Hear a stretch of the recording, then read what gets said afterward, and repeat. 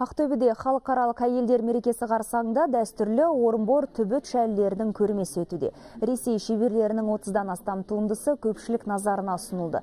Орынборлық түбіт шәлілер ең алғаш рет 1857 жылы Парижде өткен халықаралық көрмеде ұсынылған болатын. Сақинадан сынаптай сырғып өтетін сапалы орамалдар қыстың қаһарлы суығына да төтеп береді. Қайталанбас өрнегімен ерекшеленетін шәлілер қашанда сәннен қалған емес. Әлі күнге дейін шеберлер ешкі жүнін қолмен тарап ұршықпен үйіріп сыммен тоқиды.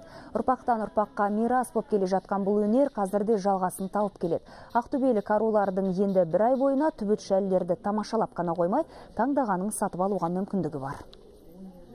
Бұл көрме 18 жыл бұрын бастамасын алған болатұғын. Тарихы өте терең өйткені екі облыс арасында қарым қатынастарымыз жылдан жылға нығайып көптеген осындай мәдени шаралар ұйымдастырылып отырады.